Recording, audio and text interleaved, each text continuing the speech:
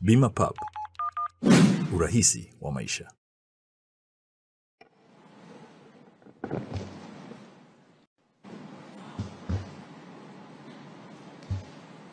Mheshimiwa Anton Peter Mavunde, mbunge na waziri wa madini, Mheshimiwa Peter Lokeres,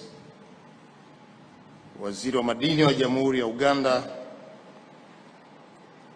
Mheshimiwa Mama Monica Changamuno, waziri wa madini wa Jamhuri ya Malawi, Mheshimiwa Albert Chalamila, mkuu wetu wa mkoa wa Dar es Salaam, waheshimiwa wakuu wa mikoa, natambua uwepo wa Mheshimiwa Shigela, mkuu wa mkoa wa Geita, mkoa unaotoa madini mengi nchini, Mheshimiwa Rosi Senyamule, mkuu wa mkoa wa Dodoma, pamoja na Mheshimiwa Christian Mdeme, mkuu wa mkoa wa Shinyanga. Nimefurahi kuwaona. Mheshimiwa Steven Kiruswa, naibu waziri wa madini, viongozi wote wa vyama vya siasa mlioko hapa, natambua uwepo wa mwenyekiti wa UWT mkoa wa Lindi ambaye yuko hapa, waheshimiwa wakuu wa wilaya kiongozwa na Mheshimiwa Edward Mpogole Pogolo, mkuu wa wilaya ya Ilala, Mheshimiwa Dr. David Matayo David, bunge mwenyekiti wa kamati ya kudumu ya bunge ya nishati na madini, waheshimiwa wabunge wenzangu wote mlioko hapa ambao ni wajumbe wa kamati ya kudumu ya bunge ya nishati na madini,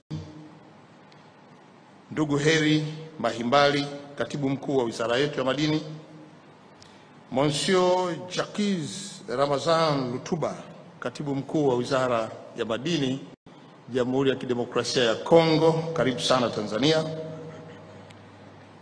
Bwana Msafiri Mabibo, naibu katibu mkuu wa wizara yetu ya madini, waheshimiwa mabalozi wote mnaowakilisha nchi zenu hapa Tanzania, na hapa natambua uwepo wa Mheshimiwa balozi mstaafu Mheshimiwa eh, Mpungwe, balozi mstaafu wa Tanzania nchini Afrika Kusini, tunatambua uwepo wako. Mheshimiwa Profesa Kakula, mwenyekiti wa tume ya madini, ndugu Abu somad mtendaji mkuu wa taasisi yetu ya Ocean Business Partners, pamoja na bwana Damian Howard, mtendaji mkuu wa taasisi ya DMG, viongozi wa dini, tuwashukuru kwa dua, viongozi wote wa taasisi za serikali kutoka wizara mbalimbali mlioko hapa, viongozi wa vyama vya wachimbaji wadogo wadogo na wakubwa, wadau wote wa madini kutoka nje ya nchi na ndani ya Tanzania, wanahabari, wageni waalikwa, mabibi na mabwana, ni wasalimu tena kwa salamu za Jamhuri ya Muungano wa Tanzania. Ndugu wadau wa madini, na mimi nataka kuungana na viongozi wa dini waliotangulia kwa kumshukuru Mwenyezi Mungu aliyetuwezesha kuwa na afya njema na kukutana hapa jijini Dar es Salaam kwenye mkutano huu wa kimataifa wa madini wa uwekezaji unaofanyika nchini Tanzania. Lakini pia nimshukuru sana Mheshimiwa Anton Peter Mabunde, mbunge na waziri wa madini kwa kuhakikisha kuwa mkutano huu unaendelea kuwa jukwaa maalum la wadau wa sekta ya madini kukutana kila mwaka na kujadili juu ya masuala mbalimbali ya uendelezaji wa sekta ya madini. Lakini pia niwashukuru wote kwa kukubali kuja nchini Tanzania, na niwashukuru Watanzania wote mnaojishughulisha na madini kwa kutenga muda wenu kuja kuhudhuria kwa wingi katika mkutano huu. Nimesikia idadi ya washiriki wa mkutano huu zaidi ya elfu moja na mia sita hamsini. Hili sio jambo dogo, tujipongeze kwa kujipigia makofi. Hiki ni kielelezo cha kuwa mnao tayari wa kushirikiana na serikali yetu katika kuhakikisha kuwa sekta madini inakuwa na manufaa makubwa kwa wawekezaji walioamua kuwekeza kwenye madini, lakini pia kwa wananchi walioamua kushiriki kwenye sekta ya madini kwa lengo la kutoa mchango wao katika kukuza uchumi wa taifa letu. Nawashukuru sana kamati ya maandalizi pamoja na wadau wote mlioshiriki kuandaa, wakiwemo wadhamini waliofadhili tukio hili na hatimaye kufanikisha mkutano huu kuanza jana, na mimi nitausitisha muda mfupi ujao. Kwa niaba ya serikali niwakaribishe wageni wetu wote kutoka nchi zote 75. Tanzania inawakaribisha. Najua mlishafika kutoka juzi au nyuma zaidi, mmeendelea kuishi vizuri. Niwahakikishie tu kwamba Tanzania ni nchi salama.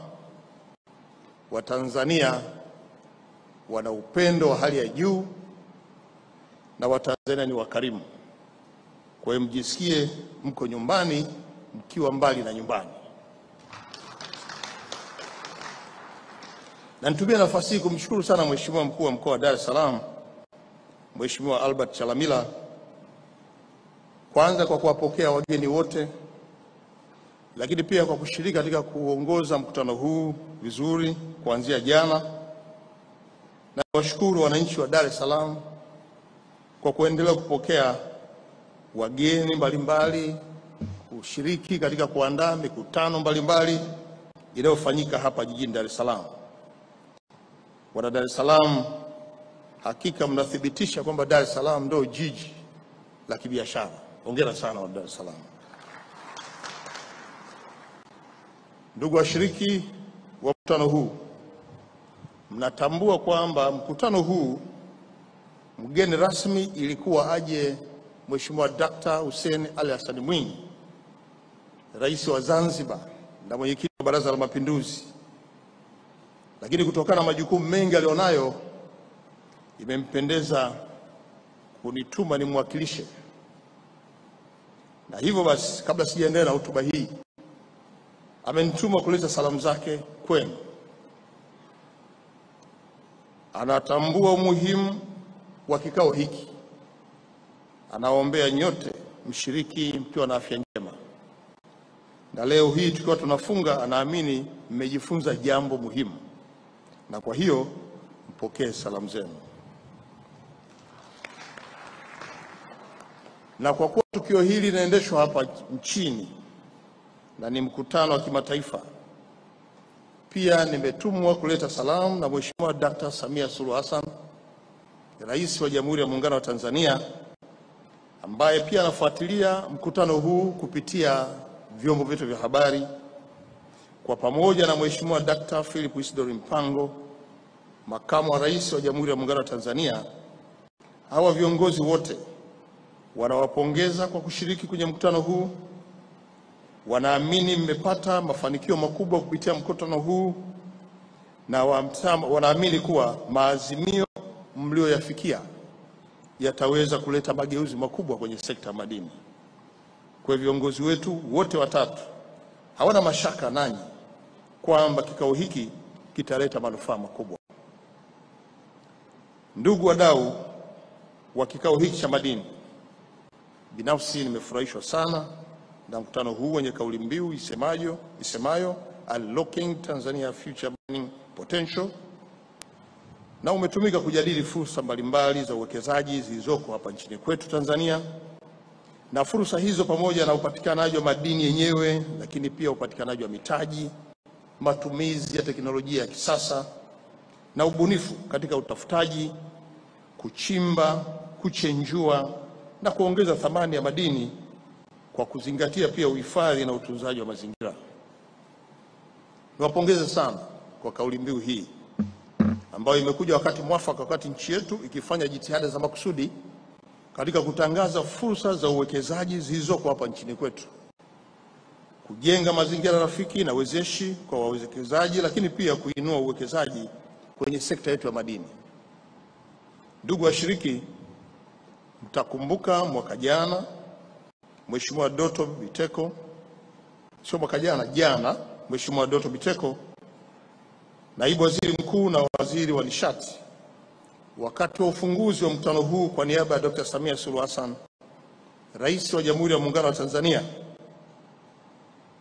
Alisisitiza kuhusu kuifungua sekta ya madini kwa kufanya tafiti zinazowezesha kupatikana kwa taarifa za kijiolojia katika maeneo mbalimbali tulionayo hapa nchini, taarifa ambazo ndio msingi wa kuanzishwa kwa migodi kutokana na ukweli kwamba bila taarifa za kijiolojia uchimbaji unakuwa mgumu sana na ni wa kubahatisha.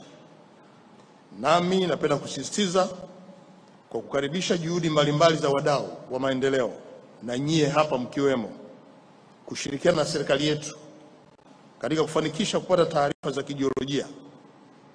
Wadau wa sekta ya madini ambao mko hapa na walioko nje ya nchi, tunawakaribisha sana ndani ya nchi yetu kushirikiana nasi katika kukuza maeneo haya ambayo nimeyatamka, ikiwemo na utafutaji, uchimbaji ambao unazingatia mazingira, lakini uchenjuaji, uongezaji thamani na biashara madini yenyewe hapa nchini. Niwahakikishie tu kwamba serikali yetu itaendelea kuwapa ushirikiano wa dhati wote ambao mnauhitaji na wote ambao mnatamani kuwekeza kwenye nchi yetu, na serikali itaendelea kuipa umuhimu sekta hii ya madini ili iendelee kuwa nguzo muhimu ya uchumi wa nchi yetu. Ndugu washiriki, mimi nina imani kubwa mijadala inayofanyika baina yenu imekuwa na manufaa kwa kila mmoja. Aidha, kupitia mkutano huu mmeweza kupata taarifa mbalimbali na fursa mbalimbali za uwekezaji zilizopo nchini, lakini pia tumeona mawaziri kutoka nchi mbalimbali wamehudhuria hapa, waziri wa, Malawi, wa madini kutoka Malawi, waziri wa madini kutoka Uganda, katibu mkuu kutoka Jamhuri ya Demokrasia ya Kongo, na wao inawezekana pia wampate nafasi ya kutupa uzoefu.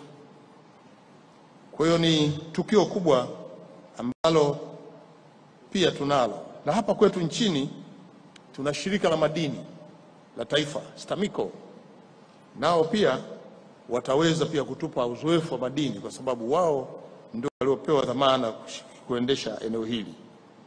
Lakini pia tunaruhusu miradi ya sekta binafsi ambayo inaendeshwa kwenye eneo hiyo na kuendesha kwa ujumla wake kwenye uchimbaji, utafutaji, pia uchenjuaji, na jitihada hizi tunaanza kuziona kutoka kwa wadau wetu. Lakini pia mtakuwa mmeongeza ufahamu zaidi kuhusu teknolojia za kisasa zinazotumika katika shughuli za utafutaji, chimbaji, chenjuaji, uongezaji thamani madini ambazo zinalenga kurahisisha shughuli za madini kwa kuimarisha usalama, kupunguza gharama za uendeshaji na athari za kimazingira. Ndugu washiriki, kama alivyosema waziri wa madini, kupitia majadiliano katika mada mbalimbali zilizowasilishwa, umetolewa ushauri na mapendekezo ambayo yatatakiwa kufanyiwa kazi na serikali yetu. Ninapenda kuhakikishia kuwa serikali itazingatia ushauri na mapendekezo yote yaliyotolewa ili kuendelea kuboresha zaidi mazingira ya uwekezaji kwenye sekta ya madini hapa nchini kwetu. Ndugu washiriki, kabla sijaingia hapa, nimepata nafasi ya kupitia maonyesho huko nje. Tumeona kampuni mbalimbali zinavyoshiriki kufanya kazi mzuri kwenye sekta ya madini. Wako wanaofanya ufuatiliaji kwa maana ya utafutaji, watu ambao wanachimba, lakini pia kuongeza thamani, na wengine wameanza pia hata kuchenjua. Hii ni dalili kuwa tunakwenda mbali sasa katika kuleta tija kwenye sekta ya madini hapa nchini. Nimefurahi kuona taasisi mbalimbali zimekuja kuonyesha maonyesho yao, na kama ambavyo wote mmeona katika mabanda yale ya maonyesho kwa siku hizi mbili, ziko taasisi za serikali zilizopewa majukumu ya kufanya shughuli za madini ikiwemo taasisi ya jiolojia na utafiti Tanzania GST, ambayo jukumu lake kuu ni kuhakikisha kuwa taarifa za kijiolojia za nchi nzima zinapatikana kwa kushirikiana na shirika la madini la taifa STAMICO lenye jukumu la kuwekeza katika shughuli za madini kwa niaba ya serikali. Hawa mashirika yote haya yanafanya kazi ya sekta ya madini, na kama ambavyo tumeona tamiko wanayo maeneo mbalimbali ya uwekezaji ambayo yanahitaji ushirikiano na wadau katika kuyaendeleza. Hivyo ninawahamasisha kuungana pamoja na taasisi hizo katika kuendeleza miradi iliyopo, lakini pia miradi itakayoanzishwa kwa utaratibu utakaonufaisha pande zote mbili. Kwa hiyo ni wakati mwafaka sasa kufanya maamuzi ya kuwekeza kwenye sekta ya madini hapa nchini, kwa sababu sekta zitakazoshirikiana nawe ziko GST pamoja na STAMICO. Ndugu washiriki, nimefurahi sana kusikia kuwa maazimio ya mkutano wa mwaka jana yametekelezwa vizuri. Mojawapo maazimio ilikuwa ni kutatua changamoto za mikopo kwa wachimbaji wadogo. Nawapongeza sana wadau wa sekta hii ya wachimbaji wadogo kwa kuamua kuanzisha benki ya wachimbaji wadogo kwa lengo la kutoa mikopo ili wachimbaji wadogo wapate mitaji na fedha za kununulia vifaa na kuendeleza migodi yao. Hatua hii itaongeza tija kwenye uwekezaji na hatimaye ufanisi kwenye uwezeshaji na kupata kipato zaidi.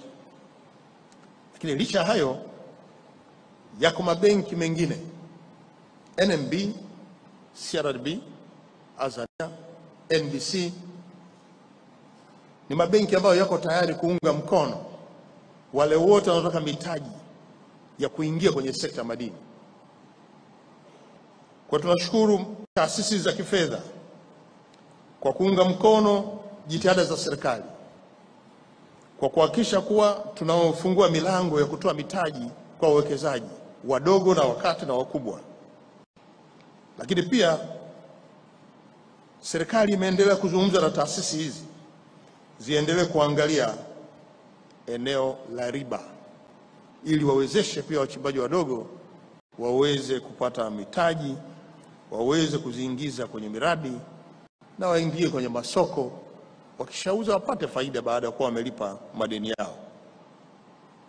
Ndugu wadau wa madini, katika mkutano huu mmeweka maazimio na mikakati mbalimbali ya kutekeleza, ya kutekeleza changamoto zilizojadiliwa. Moja ya maazimio hayo ni serikali kuwashirikisha sekta binafsi kwenye upatikanaji wa taarifa za jiolojia kwa kutumia teknolojia ya high resolution airborne physical geophysical survey. Hii ni ta- taaluma ta, ta, teknolojia ambayo sasa inatumika na taasisi zetu. Ndugu washiriki, ninazo taarifa pia za kutekeleza maazimio ya mkutano uliopita na ni matarajio yangu kuwa mtasimamia utekelezaji wa maazimio ya mkutano huu. Hiyo mtaifanya katika mkutano wa mwakani ambako mtatoa taarifa ya utekelezaji wake. Ndugu washiriki, nikijua kuwa mmezungumza mengi katika siku hizi mbili, mmeweza kujadiliana kwa kina yale maeneo yote yenye fursa ya uwekezaji kwenye madini, na kila mmoja sasa anafanya tafakari ya kuamua wapi awekeze. Nirudie tena kuhakikishia kuwa serikali ya awamu ya sita inayoongozwa na rais wetu Dr. Samia Suluhu Hassan imeshafanya kazi kubwa ya kuhakikisha kuwa kila anayefanya maamuzi ya kuwekeza katika nchi hii, uwekezaji huo utamletea faida, kwa sababu tumeondoa vikwazo kwenye uwekezaji, tumepunguza na kuondoa zile tozo kero zote ambazo zilizokuwepo kumfanya mwekezaji aweze kuweka mtaji wake, na ni matarajio yangu kwamba baada ya mkutano huu tutaanza kuona mataifa mbalimbali, wawekezaji binafsi kutoka sekta binafsi kuanza kuomba kutumia nafasi hiyo ya kuwekeza kwenye madini kulingana na ulivyopata taarifa kwenye mkutano huu. Nikiwa naelekea kuhitimisha hotuba yangu, naomba nitumie nafasi hii kutoa msisitizo katika maeneo yafuatayo. Moja, kutokana na uwekezaji katika sekta ya madini na kwamba kunahitaji mtaji mkubwa, naomba nitoe rai kwa taasisi za kifedha kuweka mazingira nafuu ya taarifa za kutoa mitaji ya kuendeleza miradi yote nchini. Mbili, wadau wetu wa madini Endeleeni kujitokeza kwa wingi kwenye maonyesho kama haya na kupitia maonyesho yanayoendeshwa kwenye mikoa mbalimbali, wilaya zetu, ili kuendelea kuonyesha fursa na teknolojia mpya zilizopo kwa ajili ya maendeleo ya sekta ya madini. Si lazima tu usubiri kwenye mkoa wako uonyeshe shughuli za madini. Unaposikia mkoa A umeandaa maonyesho ya madini, toka popote ulipo, nenda kaonyeshe fursa ya madini kwenye eneo hilo. Huo ndio msisitizo wetu. Tatu, wadau wa madini, endeleeni kuunga mkono juhudi za dhati kabisa za serikali yetu katika kuhakikisha kwamba tunaiwezesha sekta ya madini kukua na kutoa mchango mkubwa kwenye pato letu la taifa. Nne, kwa wadau wenyewe, endeleeni kujielekeza katika kutumia teknolojia ya kisasa mnapoelekea kuchimba madini ili kukabiliana na athari za mabadiliko ya tabia nchi zinazotokana na uchimbaji usiokuwa endelevu. Na Tume ya Madini kwenye hili mwendelee kusimamia. Tano, kuweka mikakati ya kuimarisha kaguzi katika masuala ya afya, usalama na utunzaji wa mazingira dhidi ya uharibifu unaoweza kuepukika katika shughuli za utafiti, uchimbaji na uchenjuaji wa madini. Na ya mwisho, kwa wadau tena, wadau mbalimbali, ni vyema sasa wakaunganishwa na kuweka mikakati ya kuhamasisha uwekezaji katika sekta ya madini kwa kufanya tafiti za madini mkakati, madini ya viwanda na madini ya metali. Taasisi yetu ya GST ilishaandaa kitabu kinachoonyesha uwepo wa madini maeneo yetu, eneo gani, madini gani yanapatikana kwenye eneo hilo. Kitabu kile kitasaidia sana kuwaambia wadau wanaotamani kuingia kwenye sekta hii wapi waende kuchimba aina gani ya madini nchini. Ndugu washiriki, ni matumaini yangu kuwa majadiliano mliyoyafanya kwa siku hizi mbili yatawezesha kufungua zaidi fursa ya uwekezaji katika sekta ya madini hapa nchini. Natambua leo ni siku ya mwisho ya mkutano na kwamba mmekuwa na mijadala mirefu yenye tija kwa maendeleo ya sekta ya madini. Ni imani yangu kwamba mtatoka hapa kila mmoja ana taarifa za kutosha juu ya sekta ya madini ili zikuwezeshe kufanya maamuzi ya kuwekezaji kwenye madini. Na kwa maana hiyo niwapongeze sana kwa kazi mzuri mlioifanya katika siku hizi mbili kuendesha mijadala, lakini pia niwashukuru sana wadau wa madini kujitokeza kwenu katika mkutano huu na mchango wenu mliotoa kwetu sisi kama serikali una thamani kubwa. Naamini mmeshajipanga vyema kutekelezaji wa maazimio, na nitumie nafasi hii kuwatakia heri katika utekelezaji wa maazimio hayo.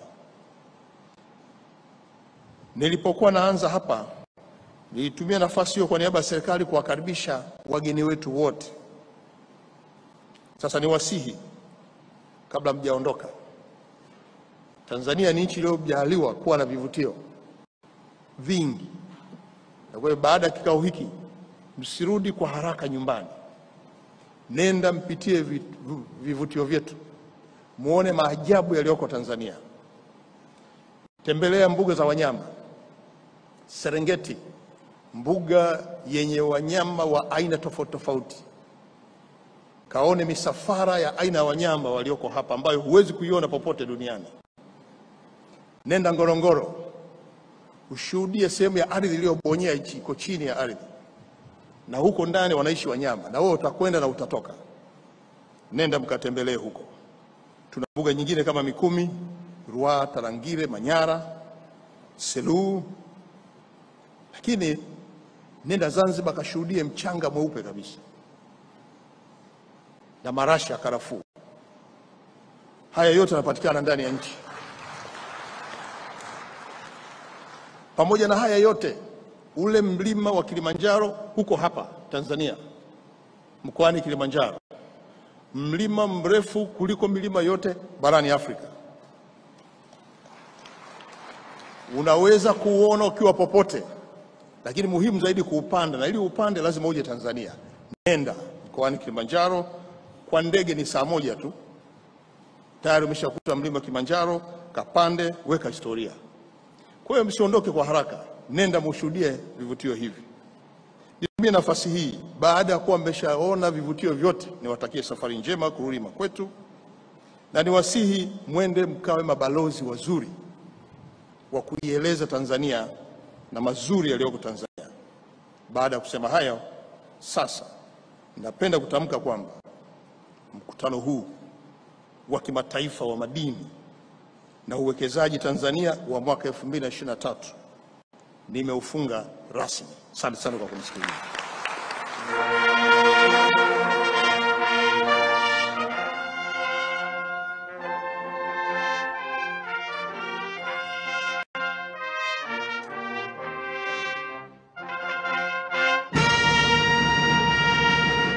Mkuu wa chuo cha Kilimanjaro Institute of Technology and Management kilichopo Mwenge jijini Dar es Salaam na chenye thibati na usajili wa NACVET namba reji mkwaju ane mkwaju 029 anapenda kuwatangazia nafasi za masomo kwa ngazi ya diploma na certificate kwa muhula wa masomo utakaoanza Oktoba 2023 katika kozi za IT, Business Administration, Accountancy, Procurement and Supply, Front Office na Hotel Management. Chuo kimebobea katika ufundishaji kwa njia ya vitendo na kimeweza kutoa wanafunzi wenye weledi. Wengi wameajiriwa ama kujiajiri, na kwa wale ambao wameamua kuendelea na degree wameweza kujiunga na vyuo vikuu bora hapa nchini na nje ya nchi. Pia kuna ofa ya kozi fupi za computer application, graphics and design, video production pamoja na CCTV camera. Kwa maelezo zaidi piga simu namba 0766348652 au 0717816034. KITM, elimu na ujuzi kwa maendeleo ya uchumi.